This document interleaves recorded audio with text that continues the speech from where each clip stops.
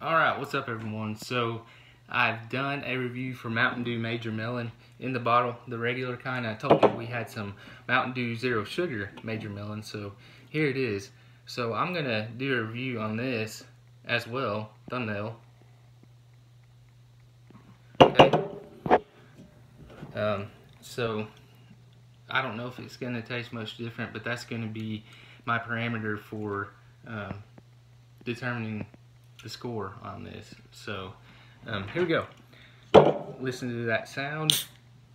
Oh, right there. Okay.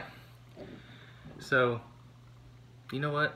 I'm not going to pour it into a glass because you saw what it looked like in the bottle. I'm just going to drink it straight from the can. Here we go.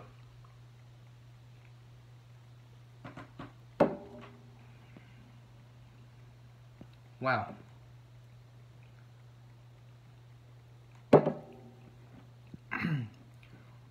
It tastes just as good as the regular. I really can't tell. Maybe just a little tiny bit that there's no sugar in it, but the flavor is still there. It's still amazing. Um, still tastes like watermelon. And uh, yeah, look at that thing right there. Yeah, so um, yeah, definite five out of five because it tastes just as good as the regular and the can is just really awesome. Uh, it's just a really cool product.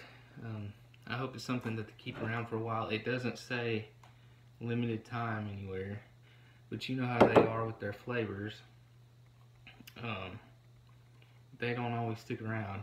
Some of my favorite ones like Pitch Black and Baja Blast, you know, you can't really find them much anymore, at least not around here. So 5 out of 5, it's a great soda.